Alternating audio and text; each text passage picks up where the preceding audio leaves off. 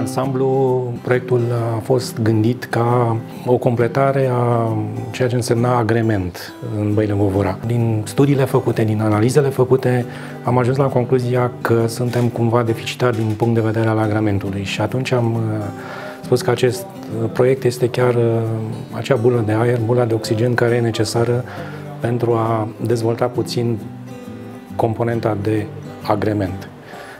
În primul rând pentru uh, turiștii în care vin la Govora, dar și pentru localnici sau cei care sunt în tranzit. Dacă ne gândim la um, obiectivele care au fost realizate în cadrul proiectului, aș enumera aici traseul de cură balneară, este un traseu uh, generos de aproximativ 1400 uh, de metri, care pleacă de undeva din centrul stațiunii și merge către o localitate componentă care se numește Curături. Bună parte din traseu uh, trece printr-o pădure, deci este chiar plăcut, este o plăcere să, să te plimbi. Și uh, de ce acest traseu de cură balneară? Uh, dacă citim uh, istoria stațiunii Băile Govora, nu foarte îndepărtată, aflăm că medicii balneologi, în special din perioadele interbelică și chiar în perioada comunistă, recomandau turiștilor care veneau la tratament anumite trasee de cură balneară. Microclimatul de la Băile Govora este unul, poate unic în România. E vorba de aeroionizarea puternică, raportul dintre ionii negativi și cei pozitivi este egal cu 1, deci numai simpla plimbare prin stațiune este considerată o procedură de tratament, care, mă rog, se cheamă crenoterapie.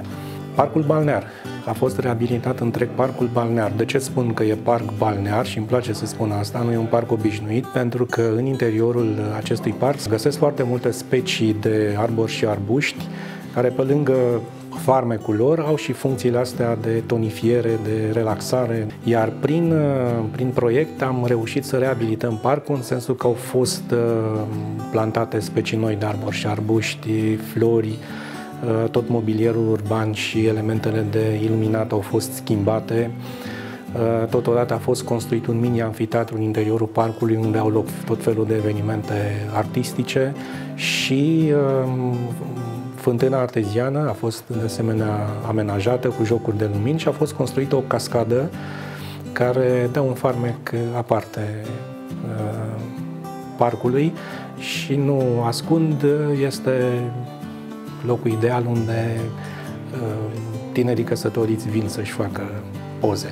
Pe de altă parte, au apărut și uh, investiții private, nu mai devreme de, cred că luna asta sau luna trecută a fost deschis un, un hotel de 4 stele sau o pensiune de 4 stele, deci un investitor privat care a înțeles că lucrurile merg în, în sensul bun și a meritat să investească în, în turism.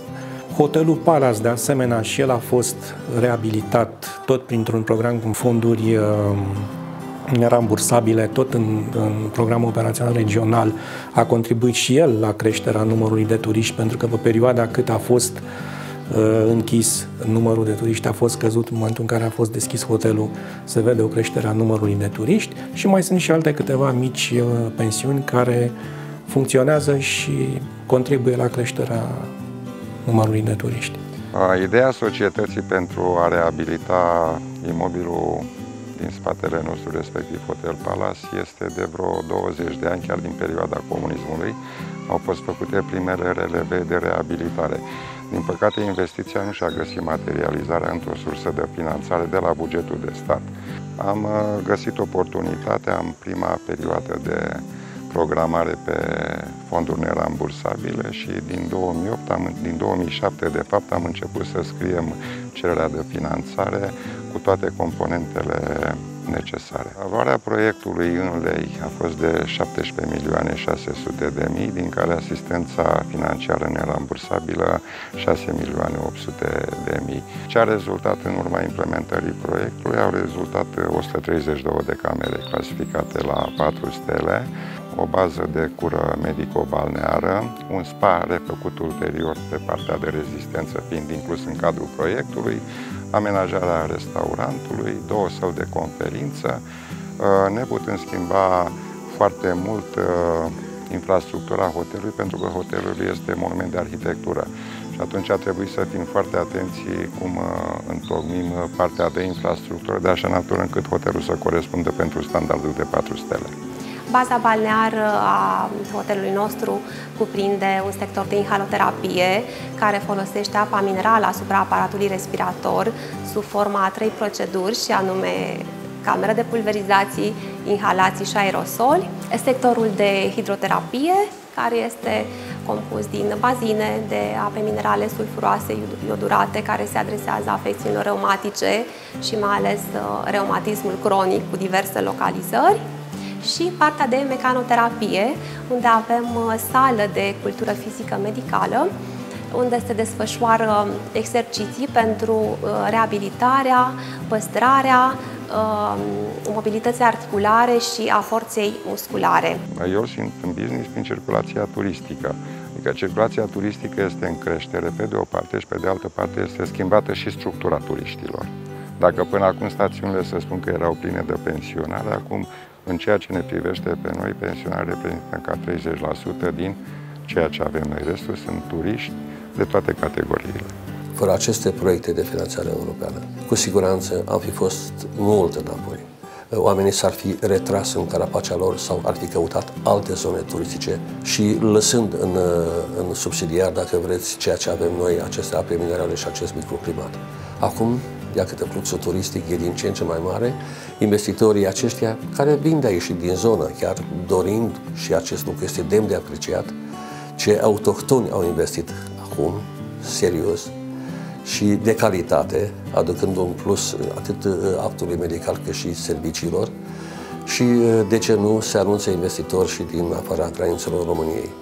Ia câte o govora devine apetisantă pentru multe zone construcțiile respective, prin autorizațiile de construcție, prin ceea ce înseamnă valoarea unui proiect, cu siguranță că dau uh, mulți bani la bugetul local. Adică a crescut, a zice eu, că s-a triplat bugetul local din 2000 față de cel din 2014 sau 2018. Punctul, dacă vreți, crucial a constituit anul 2007, uh, când România a aderat la Uniunea Europeană. Atunci am așternut uh, pe, pe masă împreună cu o echipă modestă din primărie, dar deosebit de, de profesionistă, niște proiecte care ne-au adus în stadiul actual. La ora aceasta, cred că în aceste hoteluri, și sunt vreo patru hoteluri mari, 3-4 stele, nu cred că este un loc de cazare disponibil este un lucru îmbucurător. Nu numai că suntem în vârful sezonului estival, dar uh, este consecința unor lucruri care s-au întâmplat și lucrurile cred că sunt pe o pantă ascendentă. Probabil că n-am fi reușit să facem uh, tot ce am, reu- ce am realizat prin proiectul ăsta, singura soluție era ca în fiecare an să încercăm din, nu știu, puțin din bugetul local să facem câte ceva, câte o bucățică, dar asta ne-ar fi luat foarte, foarte mult timp, adică ne-am fi dus poate pe, eu știu, 10 ani sau chiar mai mult și poate chiar n-am fi reușit să atingem tot ce ne-am propus.